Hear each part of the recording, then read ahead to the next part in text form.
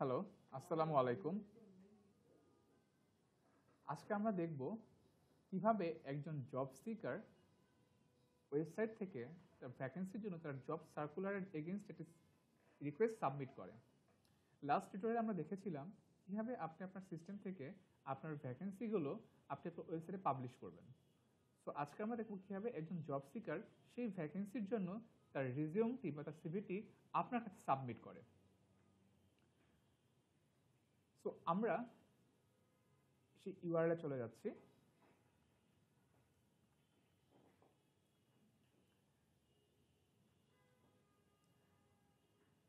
So একজন job seeker যখন আপনার ভ্যাকেন্সির জন্য তার রিজিউমটি আপনার কাছে সাবমিট করবে, সে ফার্স্টে যাবে আপনার ওয়েবসাইটে এবং ওয়েবসাইট থেকে সে যাবে আপনার জব পোর্টালে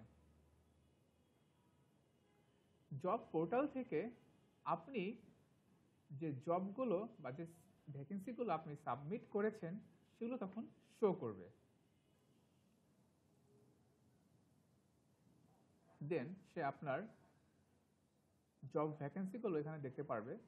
লাস্ট টিউটোরিয়ালে আমি একটা জব ভ্যাকেন্সি তৈরি করেছিলাম সেলস অ্যাসিস্ট্যান্ট নামে।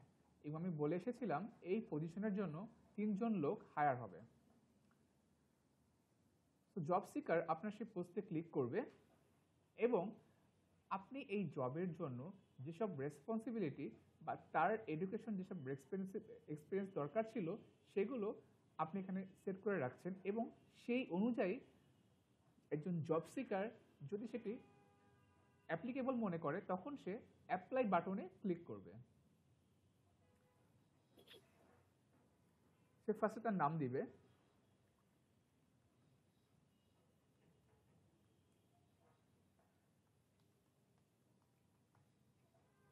তার ফোন নাম্বার দিবে।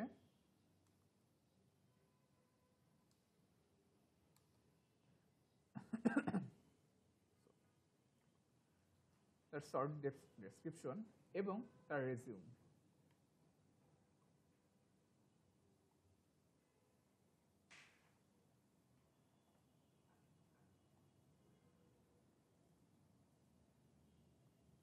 দেন সাবমিট বাটনে ক্লিক করবে।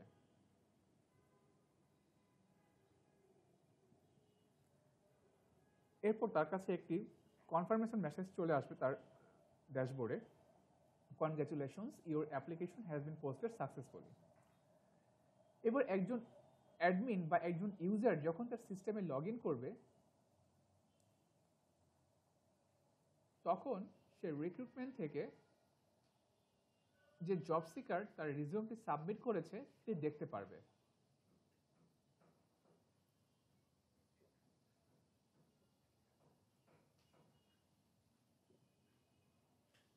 আমরা দেখতে পাচ্ছি একটু আগে যে অ্যাপ্লিকেশনটি আমরা সাবমিট করলাম, সে অ্যাপ্লিকেশনটি এখানে চলে আসলো।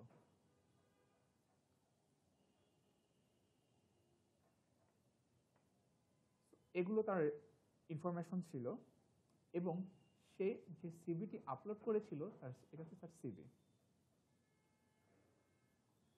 তো এটি হচ্ছে আমার অল ওভার রিক্রুটমেন্ট প্রসেস কীভাবে একজন জব সিকার আপনার সিস্টেমে বা আপনার ওয়েবসাইটে তার রিজিউমটি সাবমিট করছে আপনার ভ্যাকেন্সির জন্য এবং আপনি একজন সিস্টেমের ইউজার হিসাবে কীভাবে সেই জব সিকারের অ্যাপ্লিকেশনটি দেখতে পাচ্ছেন তার প্রসেস তো এটি ছিল আজকে আমাদের টোটাল অপারেশন প্রসেস তো সবাইকে ধন্যবাদ। Thank you